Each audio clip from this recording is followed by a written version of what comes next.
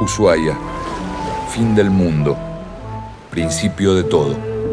Hoy soy hija del presidio que me contagió tristeza, llevándose. Ushuaia es una ciudad en la isla de Tierra del Fuego, al extremo sur de la República Argentina, frente a la Antártida, que fue concebida desde una cárcel. Dice que el primer sufrimiento del preso que venía a Ushuaia era cuando el remache cerraba el grillete. Mi celda tiene dos metros por dos metros. Ayer hizo afuera 5 grados bajo cero. Preso que no obedezca será severamente castigado. Dos celadores me castigaron a golpes con cachiporras.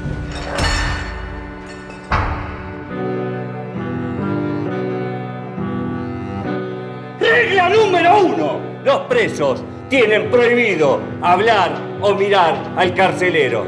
La hostilidad del clima mortal nos enfermaba de nostalgia y de melancolía. Lo paradójico de esto es que de la cantera, eh, los presos devenidos en albañiles sacan las piedras para empezar a edificar su propio lugar de encierro. Una angustia constante, una incertidumbre atormentadora. Sin ver la luz del día, sin poder hablar a nadie, esperaba tranquilamente y con firmeza la muerte. La idea de ellos era escapar hacia Chile, porque Sí. es el espacio más próximo que tiene como para poder salir del territorio argentino, ¿no es cierto? De esa matanza participaron, desgraciadamente, ¿no, mis tíos? ¡Nombre! ¡Nombre! ¡Nombre! ¿Tu nombre, lacra? 95, señor. ¡Nombre! ¿Tu nombre? ¡Nombre!